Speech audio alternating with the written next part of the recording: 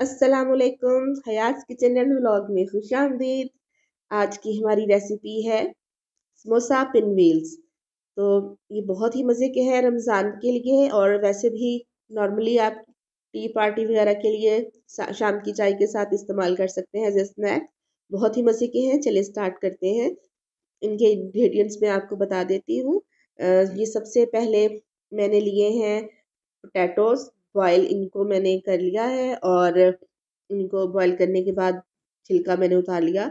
और इनको हम मैश कर लेंगे अच्छे से और इसमें ये बाकी के इंग्रेडिएंट्स शामिल करेंगे जो ये हैं ग्रीन चिली है फाइन चॉप की हुई दो तीन तीन से चार ये हैं। आप अपने टेस्ट के हिसाब से ले सकते हैं। कोरिएंडर है, सब्ज़ धनिया, इसको भी फाइन चॉप किया है। सुरख मिर्च है, छोटी चम्मच और छोटी चम्मच ही नमक है, गरम मसाला है और सॉरी चाट मसाला है। ये गरम मसाला नहीं है।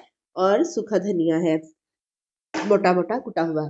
तो अब हम इनको सब, सबको शामिल करेंगे ये आलूओं को मैश करने के बाद।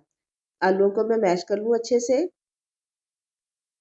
तो अब मैं इनमें ये तमाम इंग्रेडिएंट्स जो है स्पाइसेस जो हैं, वो ऐड कर दूँगी और फिर इसको अच्छे से मिक्स कर लूँगी। जी तो इनको अब मिक्स करना है। मिक्स करने के बाद फिर हम इनको पट्टी पे लगाएँगे। समोसे की पट्टी पे। लगाएँगे।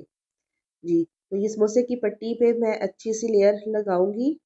ना बहुत ज़्यादा मोटी और ना ही बहुत ज़्यादा पतली। मुनासिब सी लेयर लगानी है अमेज़े की हमने इस पर ये समोसा पट्टी मार्केट से बहुत ही कम कीमत में अवेल है। टाइम की बचत के लिए मैंने वहीं से ली है मार्केट से ही ली है।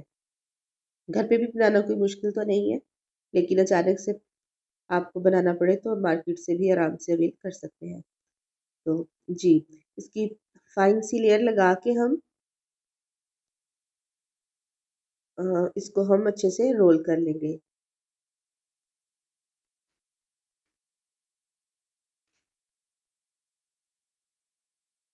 इस तरह से हम इसको रोल करेंगे और अगर आप चाहें तो इसको इसी तरह से मैदे और पानी के बैटर में पतला सा हम बैटर बना लेंगे। उसमें डिप करके भी फ्राई कर सकते हैं, लेकिन क्योंकि हम पिन व्हील्स बना रहे हैं तो हम इस तरह से इसको काट लेंगे।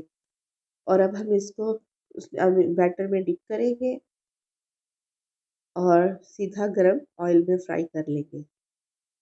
इस तरह आपने अपने बाकी के पिन व्हील्स भी रेडी कर लेने हैं। जब एक साइड डन हो जाएगी तो फिर आप इसे टर्न कीजिएगा, फ़ौरन जल्दी नहीं चलाइएगा।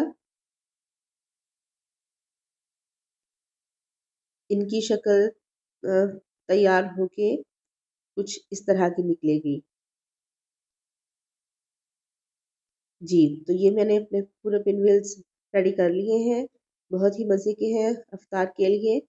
तो इसको मैंने ग्रीन चिली सॉस के साथ और ग्रीन चटनी को दही के साथ मिक्स करके सर्व करूँगी। बहुत ही मज़े के लगते हैं, बहुत ही मज़े के बने थे। और एक बार बनाए हैं, तकरीबन रोज़ ही बच्चों की ये फरमाइश होती है कि अवतार में यही मिले। आप लोग भी बनाइए इंजॉय कीजिए घर वालों से दाद